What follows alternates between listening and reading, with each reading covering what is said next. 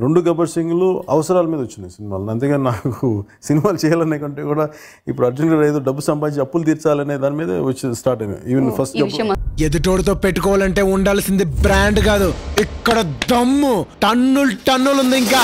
చూస్తావా?